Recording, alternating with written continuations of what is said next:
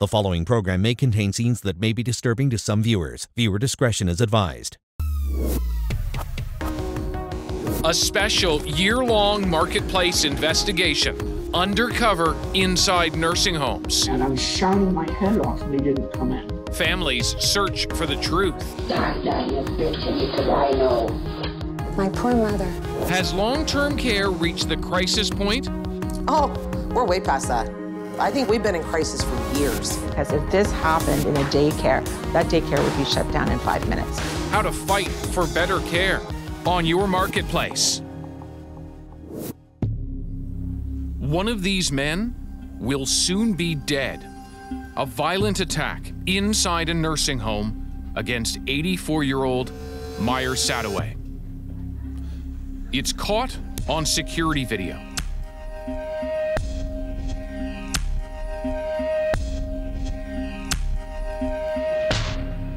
Video the home, Baycrest, kept hidden from Meyer's family.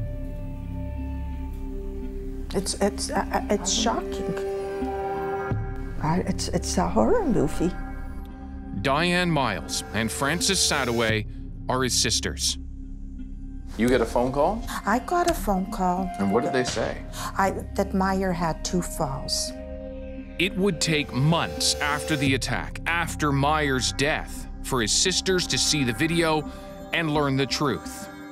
I started crying Yeah. hysterically, and I thought, I can't believe They said it. they can explain everything. That's that was right. they, they'll explain it. So I said, "There's nothing to explain. It's very clear what happened with, between Meyer and this resident. How Meyer ended up dead."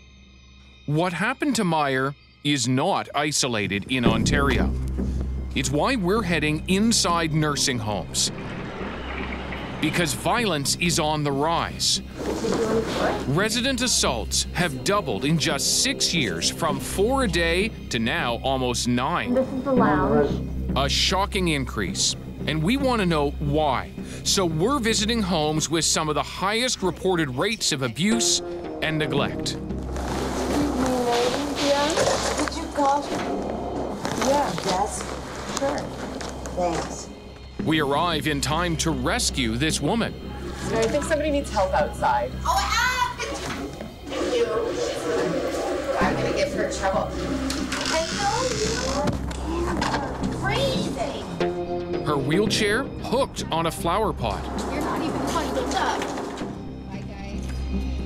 It's minus 18, and that woman, that resident of a long term care facility, is stuck outside. Oh my God.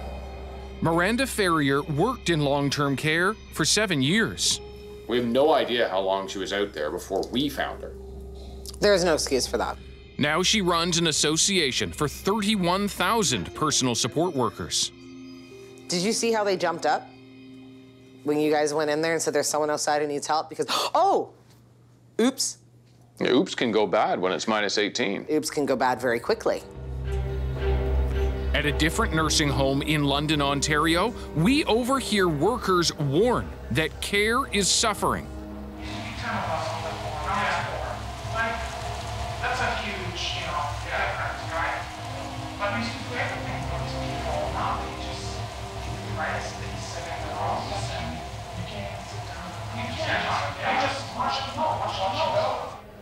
No time for proper baths,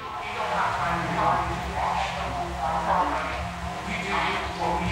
Yeah, please, everything happens very hard. How often does that happen in long Every single day. And no, I'm not kidding. Every single day. Because they don't have the time. And why don't they have the time? Because there's not enough people on the floor, there's not enough PSWs on the floor. no time to check on residents.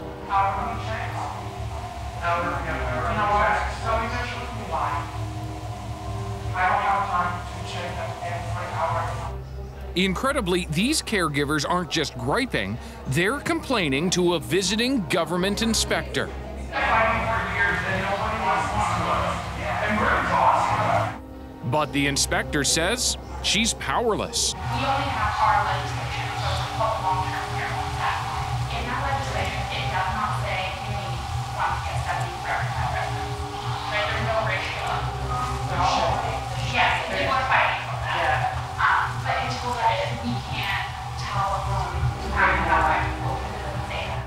And that is legal because no province has set a minimum ratio of caregivers to residents the way there is for other vulnerable populations like daycares. Which I don't think is very fair. These people built the, the society we live in today. And now they need us more than ever, and we're failing them. We are failing them in a big, big way. Miranda says understaffing is a clear factor in rising abuse and neglect. When we're talking about putting more care into the system, we need to talk about more scrubs on the floor. How many staff do you have? We need to talk ratios. I truly believe that is the answer to so many of our problems. Problems documented in thousands of government inspection reports. A resident dragging another resident who was screaming. Residents who punch, kick, and scratch. And one who died after being struck by another elderly resident. They have the, the three meal services and then the snack carts in between. Back on hidden camera, we want to hear what homes are telling families about staffing on official tours. In the mornings, for getting everybody out of bed, there's three PSWs per floor. So your minimum ratio would be 10 residents to one PSW. Okay. On our secure home area, the that ratio is actually seven to seven residents to one PSW. In my experience, when people have gone into long-term care facilities and they ask what is the minimum ratio, they say one to eight. But that's not the truth. The real story? Not one province has set a minimum. There's no rule. No, there's no rule. No law. No law. No requirement. Nope. But we're hearing a different story from some care home administrators. It's all more or less ministry regulated. Okay. And you're allotted so many. That isn't true. There is no allotment, no minimums, but we hear it again. So there is a minimum requirement um, for X amount of staff per resident, and we meet those requirements. And there's times that we exceed um, the minimum requirement. So what gives? Well, I mean, what, what are they going to say to a family that's coming in on a tour? Think about that. They're there to sell. Well, don't lie. Well, but they're there to sell. There is no ministry standard. Do you think the current staffing levels in Ontario long-term care are sufficient? Absolutely not. Lawyer and elder advocate Jane Meadus says nursing homes aren't staffed to deal with the changing profile of the average resident. we have a much older and sicker and frailer population. Um, so you're getting more people who um, are uh, acting out and have these behaviors. Is there a direct line for you between the higher number of abuse incidents and people with dementia? Absolutely. I think that that's a huge number um, of the people that are uh, acting out and having these behaviors. Homes used to manage aggression with drugs. Many residents with dementia were given powerful antipsychotics. About a quarter of all residents are given antipsychotic drugs, and they may not all really need them. She couldn't walk, and a lot of times she couldn't talk. What we are now doing is drugging our senior population into submission. There was pushback, and antipsychotic use dropped by a third. Seems like good news. But what happened? We hired statisticians to dig deep in the data, and they confirm as antipsychotic drug use went down, abuse in nursing homes has gone up. Doesn't necessarily mean one caused the other, but without extra staff to deal with the aggressive behavior, reducing drug use may have had unintended consequences. People like Meyer face that violence. He tried to block a larger man, a wanderer with dementia, from entering his room and was attacked. When staff do react, they lead the aggressor away. But there's no one to help Meyer. He struggles and falls, trying to escape. His hip is broken that night. He dies four days after the attack. Meyer must have been afraid. And he was trying to uh, move himself to get up, and he was having difficulty getting up, and they just walked away. It's been five years since Diane and Frances lost their brother. He enjoyed the, the fresh air and seeing other people and moving around. There was no autopsy, but his family connects the violence to his unexpected death. We were told it's going to be specially trained staff who have special training for these for the behaviors of these residents. We asked Baycrest to explain. They won't talk about what happened to Meyer Sadoway, but do tell us no amount of care planning or staffing can prevent all altercations. Miranda Ferrier is stunned by Meyer's death, but not surprised. That kind of thing is happening more. All a the lot time. more. All the time. All the time. We need more accountability and oversight. That's what we need. The shocking video. I literally collapsed. I uh, observed my grandfather being physically punched in the face 11 times. What is your government doing to try to stop and reduce violence in long term care homes? Well, I do believe that we've made important improvements.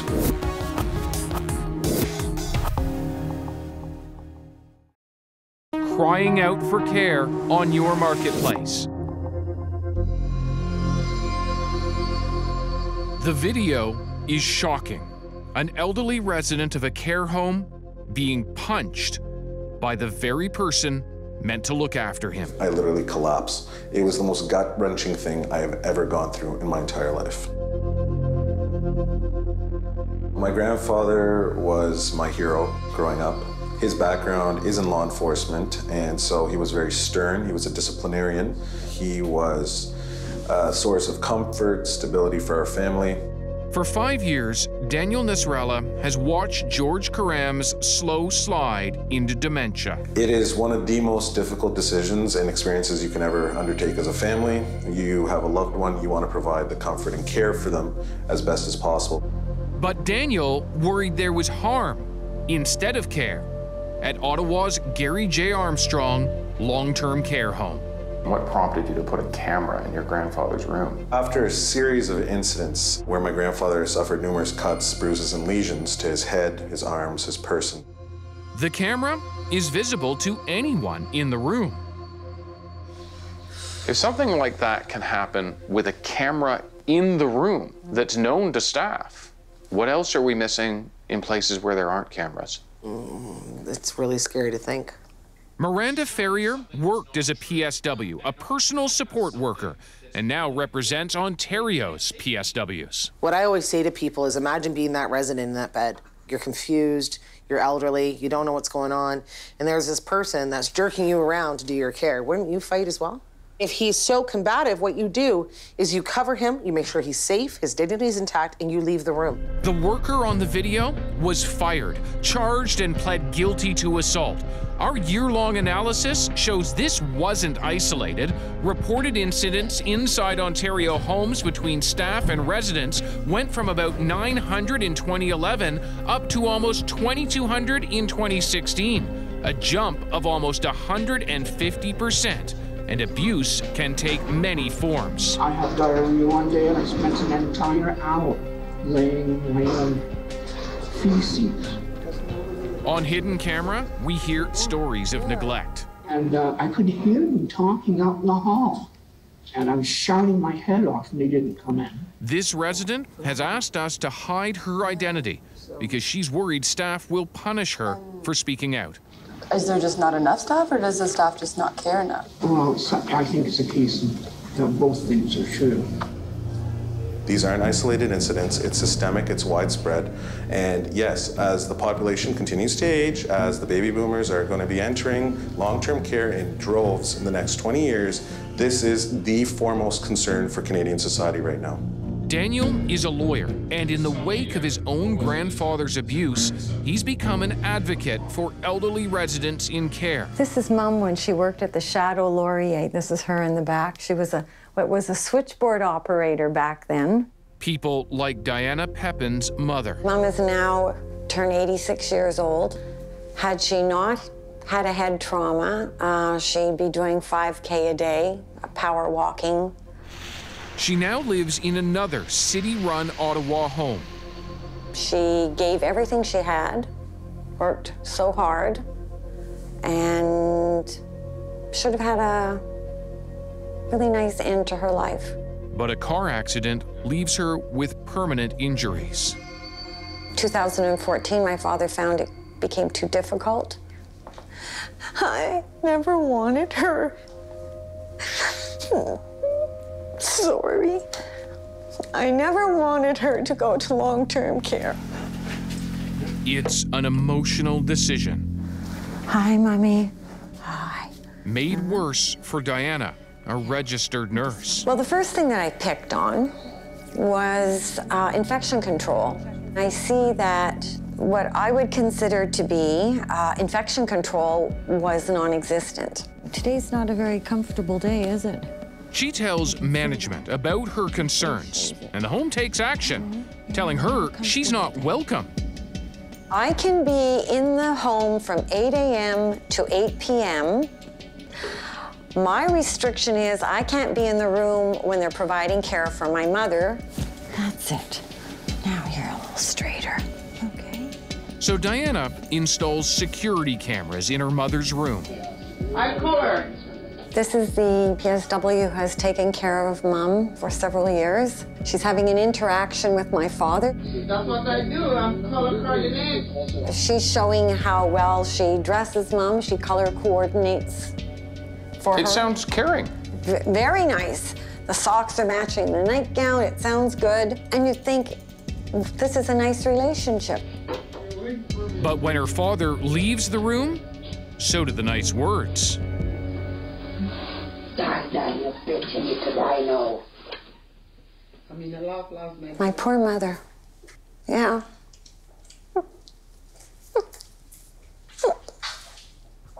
I don't imagine this has been an, an easy road by any stretch. Oh, it makes you not trust people. That's, you know what? It just makes you not trust your own judgment sometimes when you think pe- people are okay. And then you find out that you can be so duped. The PSW in the video was fired, along with two bystanders. The City of Ottawa says it has a zero tolerance policy for abuse and has been working on an improvement plan. These are people who really are the most vulnerable. Um, they're more vulnerable in many cases than children because if this happened in a daycare, that daycare would be shut down in five minutes. In Ontario alone, homes have reported about 21,000 incidents of abuse over six years. We share some of those cases with elder advocate Jane Meadus. We found a PSW, a personal support worker, returning to work after an allegation of abuse without any further training, another incident of resident to resident sexual abuse, and then finally, resident to resident abuse that took place while the staff were asleep. Are these isolated, or do you hear about things like that all the time? I hear about these things all the time. There's nothing worse than getting a call from a family member telling you about how they walked into a room and found their family member being assaulted or discovering that their mother was sexually assaulted. Um, we have people crying on the phone every day. And these are incidents under which they caught it, That's correct. and they're not always caught. I would say that many of them aren't. The man on the floor died four days later. What do you say to a family whose loved ones are facing violence, abuse, and neglect?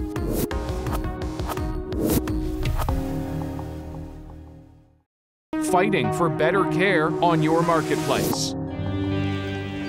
We're inside Ontario nursing homes, investigating why abuse rates are skyrocketing. When do we say long term care has reached the crisis point? Oh, we're way past that. I think we've been in crisis for years. And finally, people are starting to see it. We take that message to Ontario's Minister of Health and Long Term Care.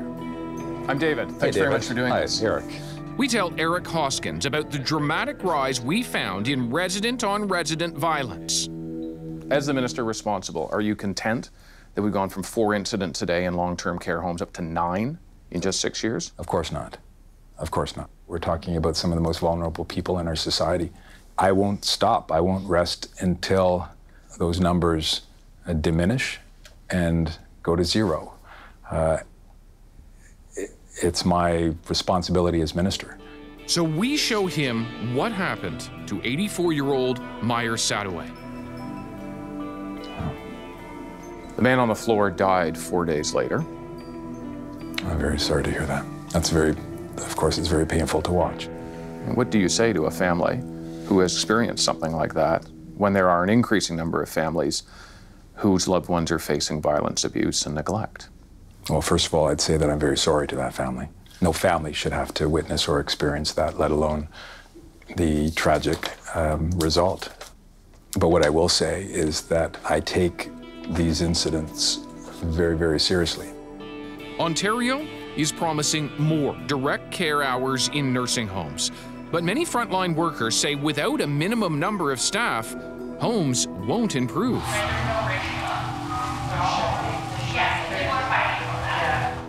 This is one of your inspectors saying, We're fighting for that. One of the people who reports to you through your ministry is saying, We're fighting to have a ratio.